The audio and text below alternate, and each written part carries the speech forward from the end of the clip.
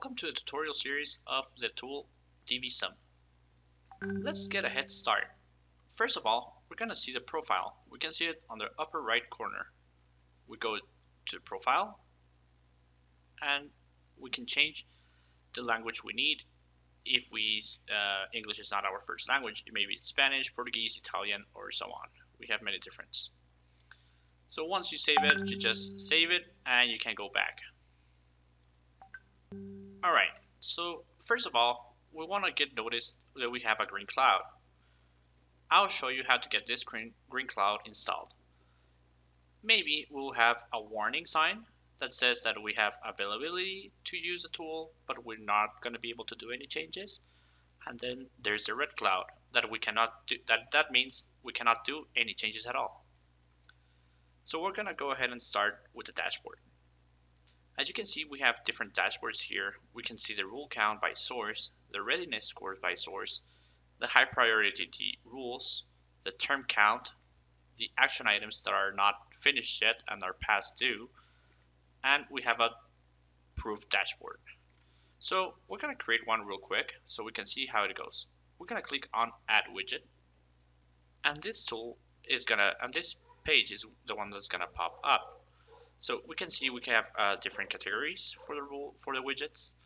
This for the different dashboards we can see action items, glossary, job scheduler, data management, catalog fields, catalog tables, and rules. So for a simple purpose of demonstration, we're going to use the rule count. And here we're going to do the title. We can give it a description if we want, or keep it as it is. We're going to select a data source we're going to select the kind of chart that we want to show. We're going to select the column, which one is important to us, and we can sort it out. So for this thing, we're just going to press save. And you can see we have the dashboard created immediately.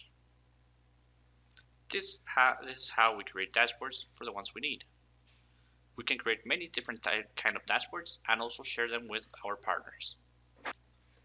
As you can see on the left side, we can go to manage dashboards. And here we can create, we can edit, we can clone and delete. So this is all for the section of dashboards. Let's go quickly to the administration tab. We have four different ones. Let's go to manage users. Once we click Manage Users, we can add how many users can use a tool. We can edit the user, the information, we can manage their access, and we can activate, deactivate, or delete them. Taking account that delete them takes about 40 to 8 to 72 hours to delete. We can have as many users as we want, 1, 10, 50, or 100,000. It doesn't matter. We don't mind how many users you use. You can also use uh, manage users by group, for example, sales, finance, products, engineering, data management, and so on for the groups that you require. You can have you can see the usage count here. You can also tell them what kind of access you have in the section of manage user access. You can have them access by source, by user, by the public sources, or by public tables. This is the way you want to keep the users in a special way so they don't have information access to the information that you want. Finally, but not least, we have managed sources.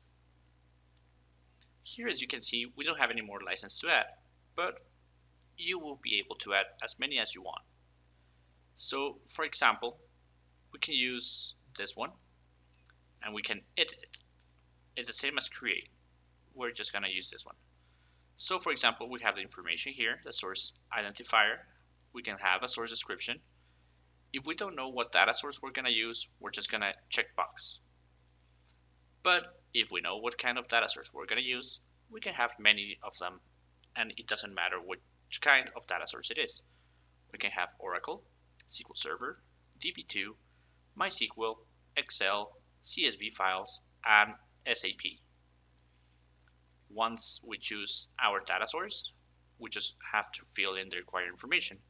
The IP, the port, the instance name, the schema name, a user we can use for DvSum, and the DB, DvSum user password. Once we have this information required, we're just gonna test connection and it's gonna throw a message. Either it's correct or incorrect. After that, we're just gonna save and we already have our managed sources uh, requested as added. So now, once we do that, we're just gonna refresh the catalog and it's gonna pop out this checkbox. This means it's okay. So now that we've finished with administration, we're gonna go to profile. As we know it, profiling. Profiling basically is the select the SQL server of select all. So we can have the data source and we have all the tables. And as you can see, it says from which source, which table name, the record count, the number of rules created for that one, the readiness score, when was it last re read or profiled, and if it was profiled correctly or not, or if it was has not been profiled. So for the basic demonstrations, we can see that we can use the run profiler. This is to select all from SQL Server, and we can do it on all the tables. Once we've done this, we're going to go to show details and as you can see, we have the readiness score, how many columns they have, and when was it last profiled. So we can see all the fields. We can see the data quality. The data quality is a rule of data completeness, as we call it, and blank checks. Why? Because we can say if we want to see if the field has blanks or if it, ha it has null fields. Here we can also select the value ranges. For example, in monthly charges, we have a value range that is valid from 15 to 150. That means everything outside this range is wrong. Also, on tenure months, we say we don't want empty fields. So for example, let's use this rule. Once we run it, we're gonna get this is gonna take about two to 10 minutes, depends on how many fields it has to check. And we're gonna see it has exceptions.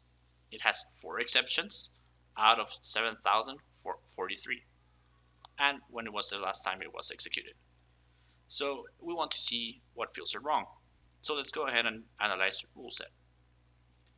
This is going to move us from profile to review and we can see the rule ID and the description of the rule. So we're going to go ahead and click on it. Once it finishes loading, it's going to throw you this screen. It's going to show you the rule number, the description, who's assigned to, the run result, and you can see we have an analysis tab. This is going to show that tenure months was empty, and here's the two fields that are wrong, and monthly charges. Remember it was from 15 to 150. So these are wrong. So what does DvSum does for us? So now we know this our fields are wrong. So DvSums helps us that we can cleanse this information or export it to Excel to send it to someone or to, to the data owner to correct this information. So for example, let's take into account that we know what information is okay. So we've got to go ahead and cleanse. And you can see the pen right here. So we just modify it and apply. Either we can use this only for one field or for all the rules. Let's do it for all the rules. As you can see, instantly, both of the empty fields went to 5, and we can see the change history, the exceptions, and the remaining exceptions. So we can go ahead and modify it. And as you can see, I just modified one, and also did the change history. Now, it says write back enabled because once we do this and we're okay with it, we can save and commit. Once we do that, DvSum is going to talk to the database and it's going to correct these changes directly into the database without going into SQL Server manually and doing it. There's a thing before we do this. There's also a process called a workflow that this means someone's going to have to analyze information, someone's going to have to uh, review the information, and then approve the changes. After that workflow is completed, the changes will take into account. Otherwise, it will send an email saying, hey, you need to, re to review these changes before they go live. Otherwise, this won't happen. So let's go ahead and cancel. All right, as you can see, we move from the tab from profile to review. Let's go quickly back to profiling.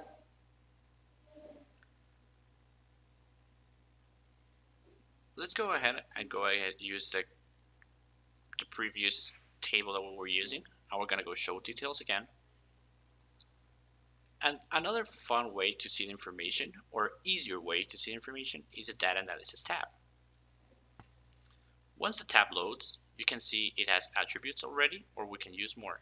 It only allows up to four at the same time.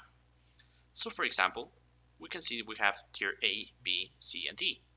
We have female on gender and male on gender and senior citizen. So let's say that we want to find out how many users in tier A are female and male. We can see, we can click on it and it says 637 and immediately it does a filter. There are 340 males, females and 297 males. So which of them are senior citizens? On the male side, we can see 50 are senior citizens and 00 are 247 that are not senior citizens. This way you can view or analyze information in a better and a customized view for you. So let's go ahead and go into the exploration tab. Once we're in the exploration tab, we can search for the data element we want to find. For example, we go ahead and customer. We're gonna search for it and we can see here how many times customer has been used. For example, unique count 8,869 on one data source. Here we have this one and this one. If this is too hard to read, we can use a table matter over here in this selection box. We can see the source, the table name, and the count. This is an easier way to see the information or the keyword that we're looking for. How many times has it been used? Is it repeated or not? Let's go ahead and go see reference dictionary. For the reference dictionary, we use it on the profile tab, on the data analysis tab. We use it to say which ones are valid and which ones are not. Make it as a comparison. So we want to say Australia, Canada, Finland, Norway, Sweden, United Kingdom, and USA are valid we go into value range, use a reference dictionary, and select this one. And these are the fields that are gonna pop, and we can say which ones are valid or not. Then we can create our own personal reference dictionary. We can create it for colors, names, countries, whatever you want. For now, we have finished for with the profile tab. So let's go into audit and manage rules. Here in this section, you can see all the rules that you have created. And if you require more, you can add simply here in add rule in the business context for unique values, uniqueness, do not use fields, value range. We can check for blanks for or for records. This is comparison between two tables to see which ones does not have a parent. Process quality, we can validate addresses, count, integrity check, custom query, either SQL or Oracle, it doesn't matter, or a uh, sum of the fields. We have timeliness, runtime cutoff, runtime elapsed, and system integrity, compare count, compare custom query, compare metric, compare table, doc matching, and system reconciliation. Here we can see the rule description, the table name, the run status if it, if it works, if it didn't work, if it fails, and if it has exceptions. We can also see it in the rule library. In the rule library, we can use or see how many of them are associated with application vendors, for example, JDA or Oracle, even SAP. We have different for business context, system integrity, process quality, and timeliness. So we have finished with the audit. Let's go with review. Let's go into analyze rules The Analyze Rules tab is similar to the other one, but here we cannot create rules. We can rerun them, we can schedule them, we can export the results, and we can mess up the rules. So for we here we have the rule ID, the rule descriptions, the result, the status, and the run date. Taking account that sometimes we don't want to use a website and we want to automate things. So for example, let's take into account these three rules. We're gonna head on schedule rule, and you can see you can run it at night or whenever you want. But there's also a good thing that if we don't want to use a website, we can generate the script. We can tell it who to tell after it has finished.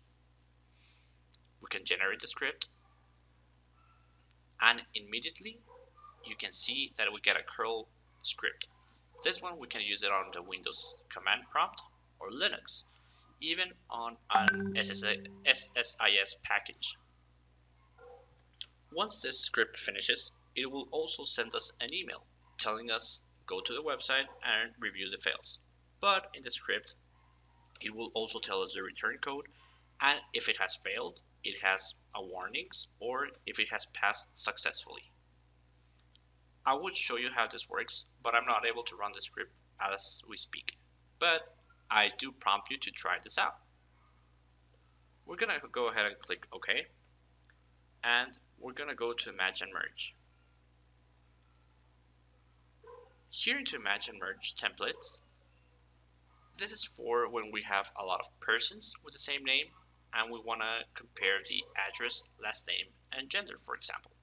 So this way we can say if the last name is exact, we can get a report to say which one is the exact name, or if it has fuzzy automatic. This one means that maybe it has the same letters, but it's not the correct spelling. So we might want to differentiate that. For example, we can use this one on the last name or the address line. We can use it on the gender and the US uh, zip code. That way we can know how many people are sharing the zip code or how many people have a similar zip code. We have the file upload tab. This one will let us store Excel files for using into the glossary or into the rule itself. This is, we can say this is a Dropbox inside DvSum. The workflows over here is the one that I was speaking about. We can see we have two workflows that are working right now. It's going to manage workflows. So for example, we can click on it and we can see the process of a workflow. It will start a simulation. Step one, create a contract and consumer or commercial. If it's yes, it goes to consumer loan execution. If it's a no, execute the commercial loan steps. Taking account this is an example. You can use it for an approval of a ticket, for example, correcting some data. You can create as many workflows as you want and have 10 approvals before it actually goes live. It doesn't matter. So we're going to go ahead and go back and we're going to go into glossary. So what's the glossary for? The glossary is so we can search a term. For example, let's go ahead and with a customer and we're going to see here the customer ID, the terms, and we can see the basic information and where is it assigned to. You can see it has two different data sources, different tables, but it has the same ID. So we can see this is the way they share the, this field. Here in lineage, we can see where it actually comes from and how it comes to the end of this customer ID. So it goes from the table customer ID, but from this database, and then it starts from customer ID, but from this data source.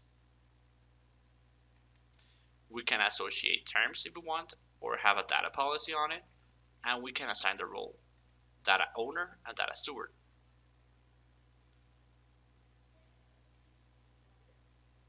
You can also import a glossary. For example, if you already have the information on the Excel file, you can just drop it here and immediately the system will read it and it will have the terms and the managed categories so you have it immediately on DvSum.